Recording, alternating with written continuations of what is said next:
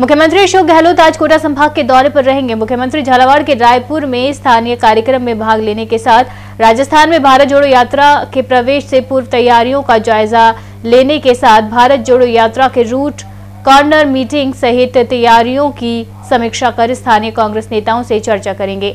Gehlot state plan से दोपहर बारह बजे अहमदाबाद से रवाना होंगे और दोपहर एक बजे कोटा एयरपोर्ट पहुँचेंगे। शांति धारीवाल भी आज जयपुर से हेलीकॉप्टर से दोपहर साढ़े बारह बजे कोटा एयरपोर्ट पर पहुँचेंगे। मुख्यमंत्री दोपहर एक बजकर पंद्रह मिनट पर हेलीकॉप्टर से रायपुर के लिए रवाना होंगे, जहाँ पर कृषि उपज मंडी हेलीपेड पर पहुँचेंगे।